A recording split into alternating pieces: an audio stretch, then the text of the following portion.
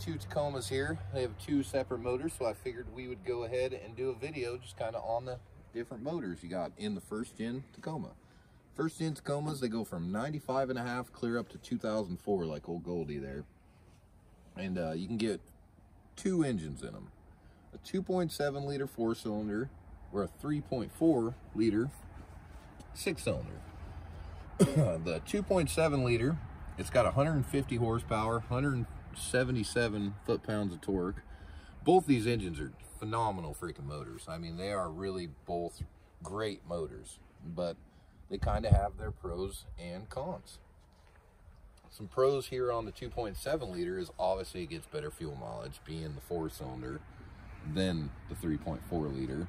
They're both tougher in heck. You could beat the heck out of them, whatever, and you know, go wheeling up in the hills all day long and then drive home. You know, you don't really have to worry about breaking the motor too much. They are, they have certain weak weak points, like the 2.7 liter, which when I say weak points, these are still a lot stronger than most engines on the market. These are just like occasionally you might have the problem with, you know, like these 2.7 liters, they have a timing chain. So, you know, as a chain, it'll stretch eventually, whatever. And uh, even though I, I don't think there's really a maintenance interval on it, not that I've read up about, but you can, with a timing chain, like an old 22RE, whatever, you can hear it start to slap and, you know, and then if you hop timing, you'll have a problem there, which these don't have like the plastic guides and all that like the old 22RE. Which this is kind of an updated version of the 22RE per se. Just tougher than heck, great fuel mileage, drive around the hills all day long, whatever, and you come home, you still got a half tank thrashing around. I mean, which is freaking excellent, which is why it's good for this platform.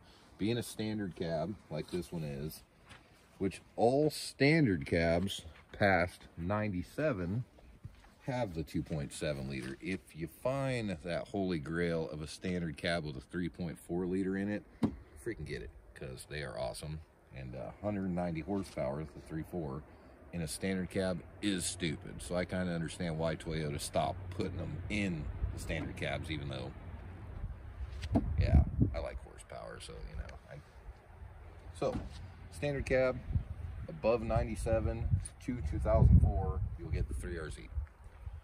Great motors. Sure, this one has a couple little things done to it. It's got a intake here, and then it's got the freaking uh, the balance balanced shaft or whatever it is, whatever has been deleted in this. So it gives it a little bit more horsepower. So I'm probably around 100 and 160, maybe maybe 70 horsepower in it.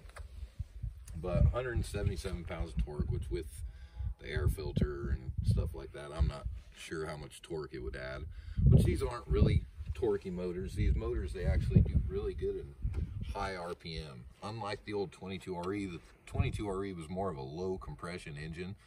So they do better kind of in the lower RPMs. And once you wrap them out, there really isn't a lot up top, whatever. You get the good bulb. So like people with crawlers, you notice they actually run the 22RE more, even though it was geared right, whatever, you can you know, you could run a 2.7 liter and have that extra stupidness because uh, these have a rev limiter in them right at 5,500 RPM, and you can't hurt this thing. You can sit there and tag that rev limiter.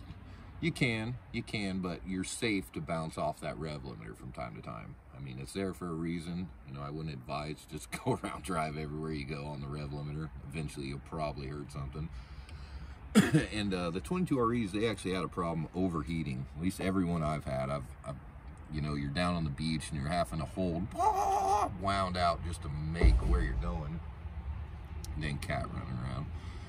You know, I'll end up overheating the 22RE, which was a problem. You'd end up overheating the heck out of them, whatever, and you'll blow the head gasket.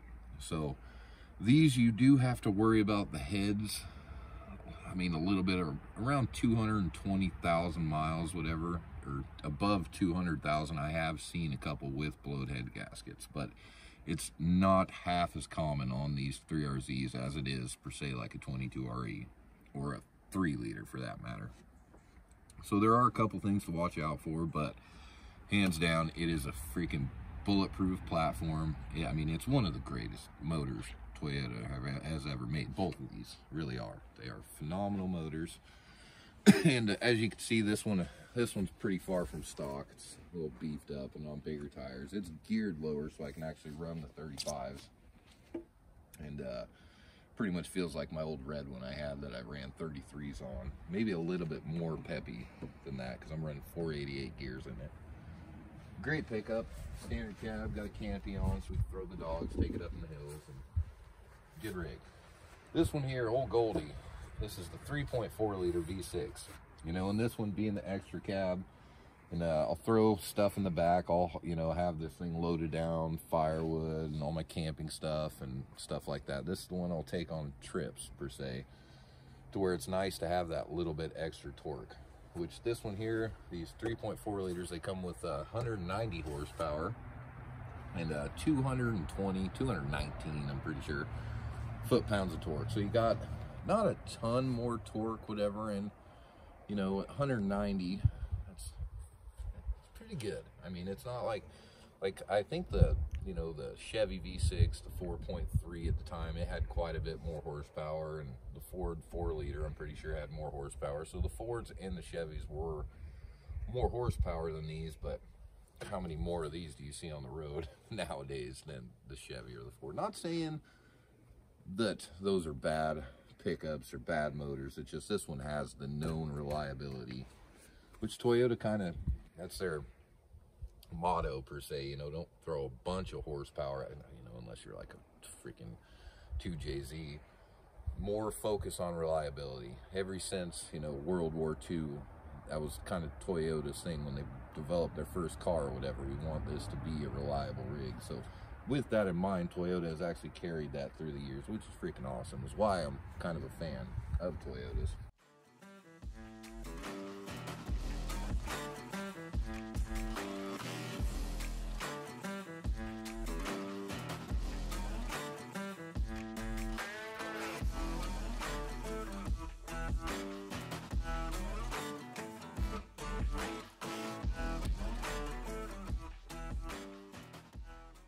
So 190 horsepower, 220 foot-pounds of torque, which helps, say you're pulling up a hill, whatever, you know, you can leave this one in fifth and actually pull the hill. This one here, drop down in fourth. I mean, this one does have 285 tires on it. It's stock geared, which I believe are 410s, not 100% sure. So that pulls a little bit away from it, but at the same time, it's still freaking fun. I mean, it's it's got plenty of power to get me where I want to go. It and it's got a little bit more options. This one does. This one's a TRD, so it came with the fancier suspension from the factory, and and it's a 2004. This is actually the last year of this body style, and after this body style, they went to the second gen gen Toyota, whatever, with a four liter V6, and then the 2TR I do believe, or 3TR, whatever, 2.7 liter, which I'm not 100% sure the difference is on the 2.7 liter past 2005. I've never had one personally. I had the 4 liter with a 6 speed, and I wasn't really a big fan. I liked them in an automatic. My buddy had an automatic in his, and I, I really liked his pickup, but my 6-speed manual, I mean, if I would have changed the gearing and the axles and stuff like that, I probably would have liked it more. It just seemed like it was a highway rig, and it was bigger, more comfortable in the cab, but it just didn't feel like a Toyota. So I, you know, I wanted to go back to the first gen Tacoma platform because, I mean, it feels like a Toyota. You drive this thing, it really does. It, you feel like you're in a Toyota. It's a little small, and me and my old lady are both pretty big people, whatever, so we're, you know, beating around in there, but at the same time, we can make it through all these trails and stuff like that. And we can get home. So we have no problem at all hopping in this thing, driving up to the snow, messing around, making it home. They're both super reliable vehicles. The Tacoma has a little bit of a downfall on these first gens, the lower ball joints, and uh, when you go to change suspension or anything like that, say you were to do like upper control arms or you beef something up, whatever, you end up breaking your freaking spindle itself. But every time you make something stronger, it exposes another weak point, which I mean, these that lower ball joint, if you stay up on maintenance, whatever, you won't really have to worry about it. Just when you jack your tires up, make sure and give them a shake or sit there with a bar and check on them. You know, 100%. And then you go throwing a lift on them, whatever, it makes that top ball joint sit all crazy. So, I mean, you have to watch out for that too.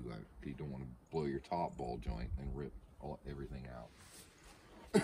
so, if you're looking at a Tacoma, I mean, if I was to make my pick on which one's a better motor, it would be really freaking hard because they are both just phenomenal freaking motors. It's easy to see these, both of these motors above 500,000 miles. you know, and they don't, not all of them end up to be that way, whatever, because a lot of it depends on maintenance. But in all reality, you take care of either one of these motors, you're going to be completely happy with it. which looking at things, I, I got some stuff I need to clean up on my battery terminals here. And I, I'm pretty good about maintenance. At the same time, you could always get better, you know? Which most of my driving and stuff like that, I drive a work pickup. So I don't drive these rigs very often, but when I do, they both have their specific purposes. So I wouldn't want to do what it, what's done there to this one, you know, solid axle swap with a Dana 44, which is freaking awesome. And this platform, it's phenomenal. These short wheelbases just get around so good, just these standard cabs. It's crazy the places you can make in these, even stock. I mean, uh, it is stupid what you can do with just 31 inch tires on them, but you go geared and solid axles and 35s, it's just, you're in a whole new rain, you know, realm. so, I haven't been doing many videos. Last one I did a week or two ago like that. We were out in the rain and water got on the microphone, so we couldn't really post that one because you can hear what I was talking about. But uh, ordered a mic, so hopefully I get to doing more video for you guys. And if you haven't seen any of my videos, then howdy, my name's Rob. I kind of do dumb videos, you know. I try to do them right off the top of my head. I don't really like cutting them up too much, whatever, which is a little bit harder, but I, I just more original that way which I might do the cut up videos from time to time just because I'm dumb and say dumb stuff, whatever, and want to cut it out. But 2.7 liter, 3.4 liter, both phenomenal motors. It's really hard to make a decision which one is better. I lean a little bit more towards the 3RZ just because the better fuel mileage. Nowadays, everything's so freaking expensive and I'm a brokey, so I could drive around all day go thrashing in the hills with my buddies, whatever, and come back and still have a half tank, which is freaking sweet. I mean, even with these bigger tires and stuff like that, this thing is so much better on fuel than the 3.4.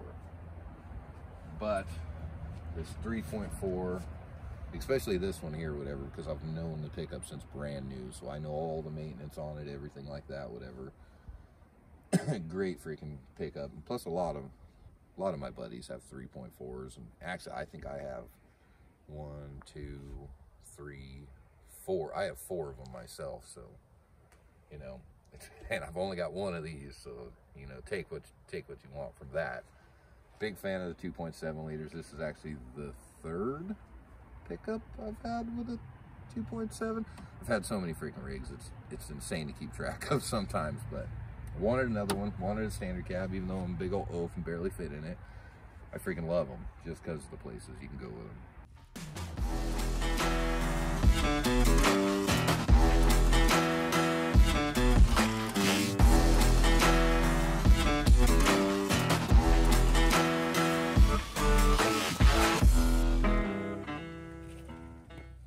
Whole time I had my old red one, which I had my old red one for years and years and years this is what I always wanted to do to it. I always wanted a freaking straight axle lid, you know, locker in the back, even though that one did get locked up, so it was it was pretty pretty sweet.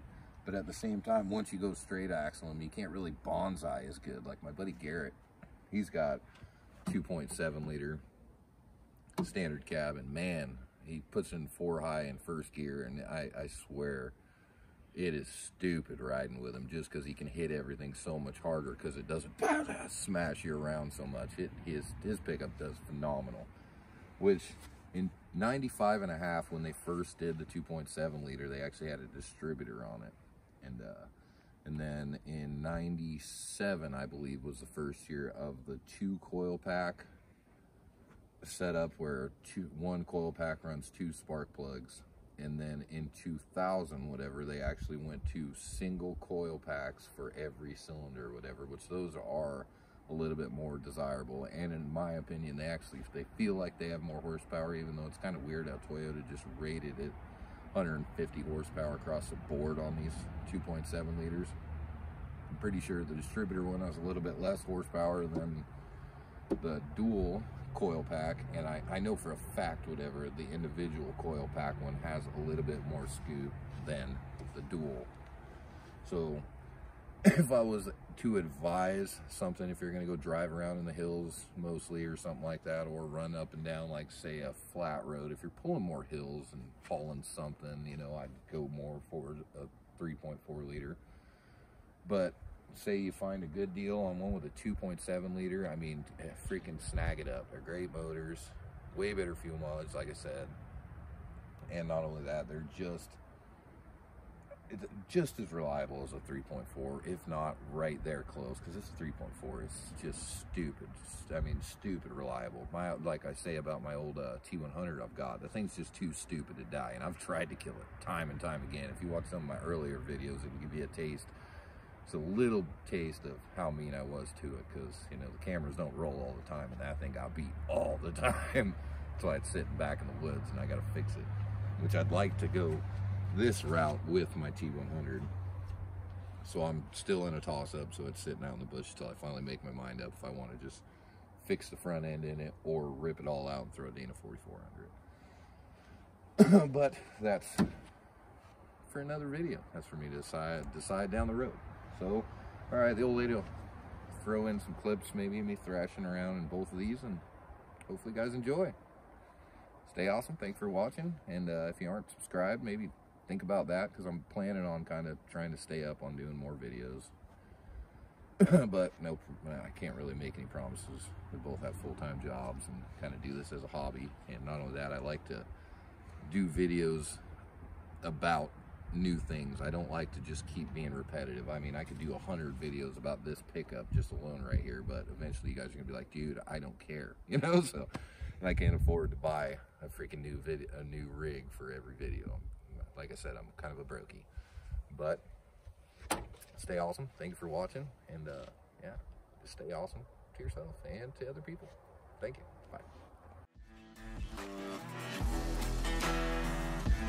Bye.